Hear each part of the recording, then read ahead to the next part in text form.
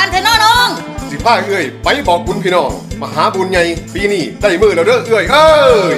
เม่นบ่ละยายถามาสองปีแล้ว บุญกระถินใหญ่ของทีมงานโจ๊กพึมพึมสถานีวิทยุเฮาเด้อ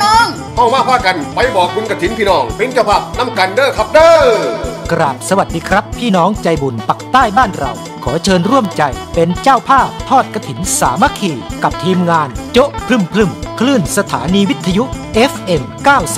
91.25 เมกะเฮิร์ในวันที่ 26 เดือนตุลาคม ขึ้น 2 ค่ำเดือน 12 ปีนี้ที่วัดคู่เมือง บ้านใหม่สถานี ตำบลเมยวดี อำเภอเมยวดี จังหวัดร้อยเอ็ด ร่วมสาธุบุญกับเจ้าภาพกระถินปีนี้กับคุณสิริวัลศรีคำหรือคุณมด และคุณคำแหงศรีคำหรือบ่าวแปลห้วยสายขาวพร้อมด้วยทีมงาน โจ๊ะพรึมพรึมคลื่นสถานีวิทยุ FM